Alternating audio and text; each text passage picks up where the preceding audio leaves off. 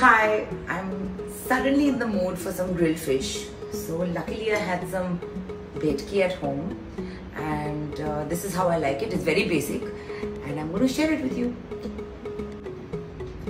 I'm going to now marinate this with salt and some pepper on both sides.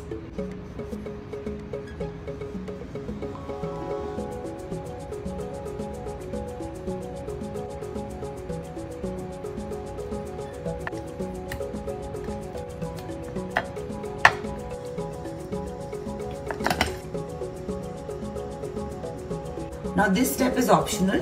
You can skip it, but I'm going to just use a little corn flour in this just to make it crispy, but it's equally good without it.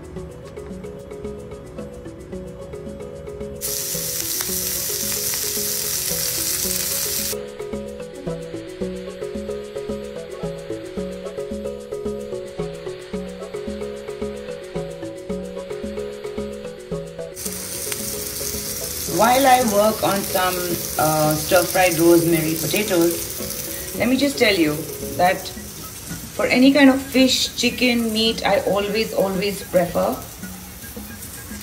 this kind of a skillet, an iron skillet. You have to allow it to get hot first. Apparently it gets heated equally everywhere and that's why you see a good result. I will link it. Now that my skillet is smoking hot, I'm going to add some olive oil. Once the oil is hot, I'm going to add some onions and some chopped garlic.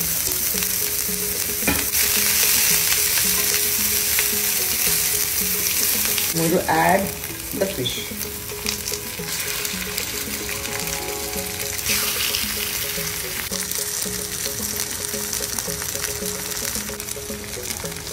Add some parsley, freshly chopped.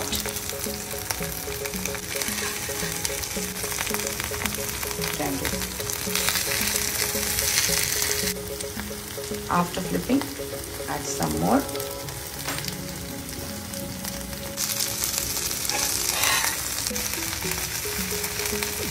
Now add a little water.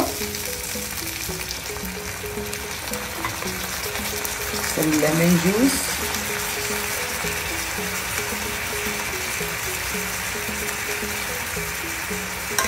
Some.